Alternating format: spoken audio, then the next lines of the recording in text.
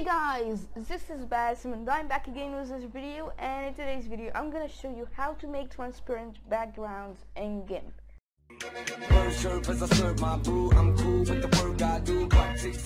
Hey guys, I'm back again with another exciting tutorials. I'm really excited for it because a lot of YouTubers did make this tutorial and I tried a lot of videos or methods that were on YouTube and a lot of them didn't work and I actually find the problem where it was the problem the problem was in the format of the image which is PNG for um, transparent backgrounds to, to work with you.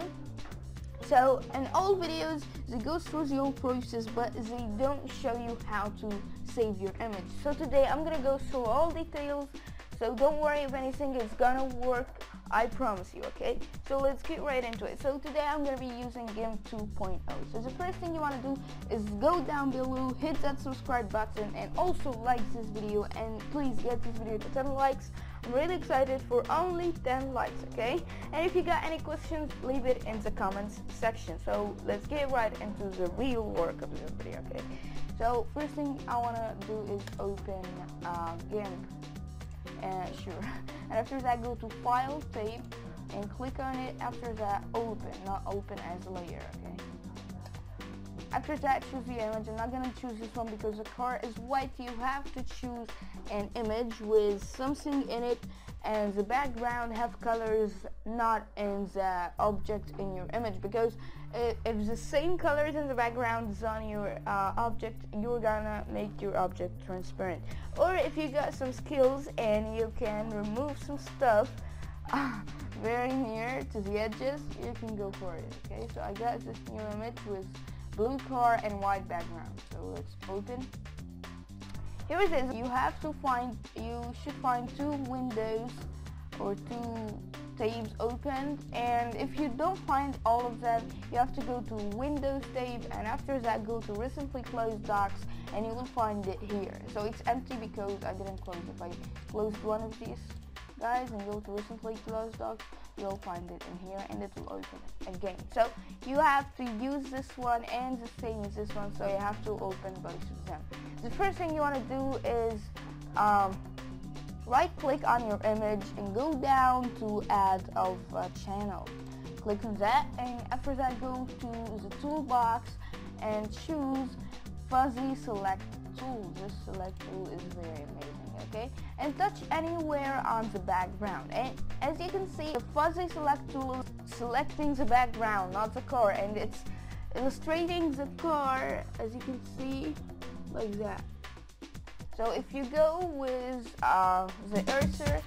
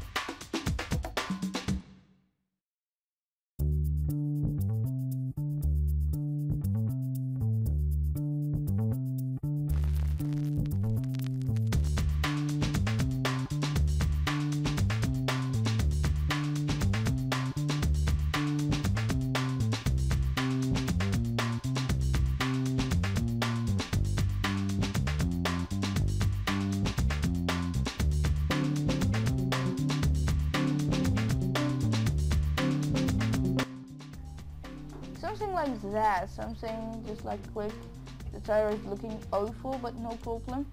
Just like from far away it's not really appearing. Now it's time for the last step which is saving. You have to go to file and go to export as.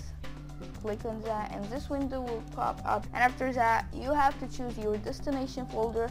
And choose desktop and the format. You have to change the format from JPG JPG to P and PNG like that. And after that click export okay? Choose the quality and you can go to advanced settings and stuff like that and click on export okay? Wait for that and close it. So here we go guys. As you can see this it's transparent the background is appearing from it okay? As you can see its background is transparent. If I move it all around here the object is transparent completely transparent. If I open it in white background it will be white as you can see okay? And uh, if you go to any editor maybe I, I will open it in uh, GIMP. No? Yeah. Here we go it's transparent. Okay? No not that one. Yeah here we go.